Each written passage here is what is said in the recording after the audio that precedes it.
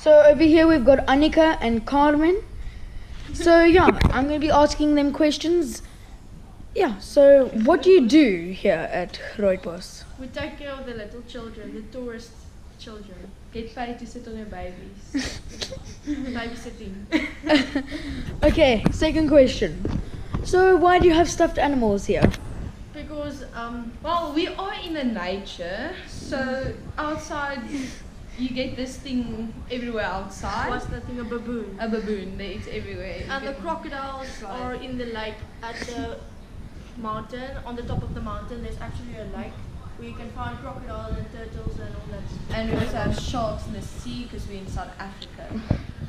Okay. So why would you want to work here at Grootbos?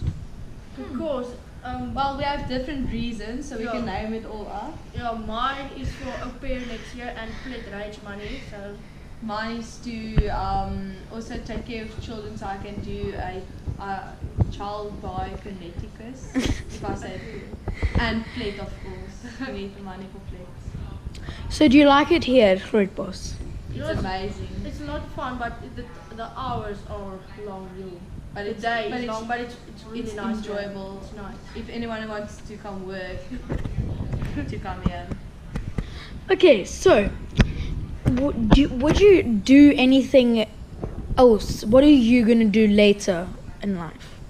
Later in life. Well, Study, hopefully get a job.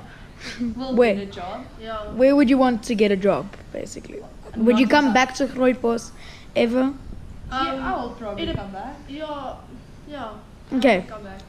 So that is Carmen and Anika, and I'll see you later, guys. Thank you.